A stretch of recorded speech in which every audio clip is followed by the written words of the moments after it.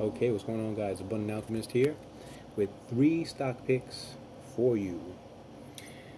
And the three stock picks are Kimberly Clark Corp at number one. Now, the reason why I am choosing Kimberly Clark Corp is because they are one of the largest producers of hygiene materials such as Kleenex. We're going into fall weather, winter weather, where uh, people tend to have flu and need for that. Now, this is a multinational company, over 175. They have Scott toilet paper, Cottonelle, Huggies, Kleenex. They recently reached all-time highs, um, although it's considered to be overvalued the signals are showing short, mid, and long term bullish action.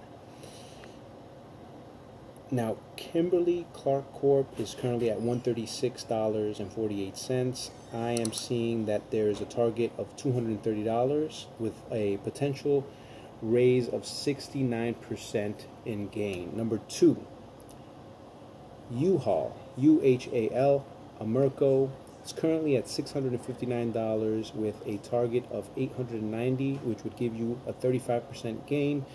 And the reason why I'm choosing this one is because there seems to be a high probability of many people having uh, the need and being forced to move with uh, looming evictions um, and everything with the economy happening. Now, U-Haul is in charge of moving equipment, right? Uh, I see a short to medium and long-term bullish action. They've been around since 1945. They have over 30,000 employees, and it's a logical play in my personal view. Number three, PSA Storage, Public Storage Inc.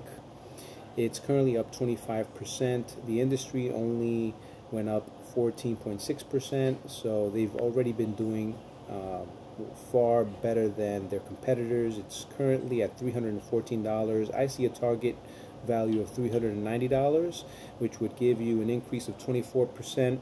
And it currently is looked at as being overvalued, um, but there is a bullish pattern with the short and long term, which is over nine months of it doing very well. So let me know what you guys think. Um, I believe that out of the three, Kimberly Clark Corp has really the best potential. Um, always spread the risk, never go all in on one idea.